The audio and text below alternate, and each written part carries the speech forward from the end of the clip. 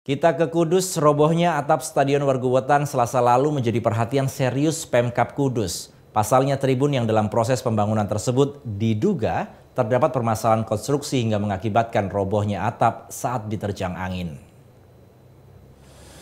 Wakil Bupati Kudus Hartopo langsung meninjau lokasi puing-puing atap Stadion Warguwetan pasca roboh diterjang angin kencang selasa sore.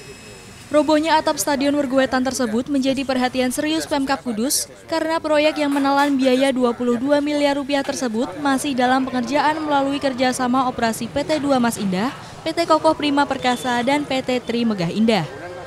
Wakil Bupati menduga ada kesalahan dalam pembuatan konstruksi atap yang tanpa mempertimbangkan faktor alam. Akibat kejadian tersebut, Pemkap akan melakukan audit internal.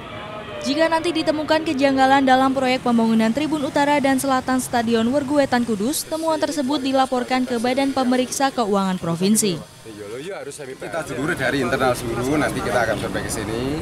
Kalau mau mereka sendiri, caranya nanti ada tim yang untuk audit, ya audit di sini. Kalau memang nanti ada temuan, ya untuk BPK Provinsi tetap harus Nanti nunggu investigasi dulu.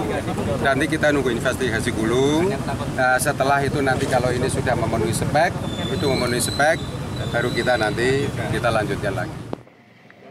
Sebelumnya selasa petang, hujan lebat disertai angin kencang membuat atap Stadion Werguetan Kudus yang masih dalam pengerjaan roboh.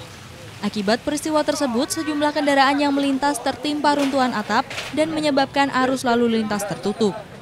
Henry Agusta melaporkan untuk NET.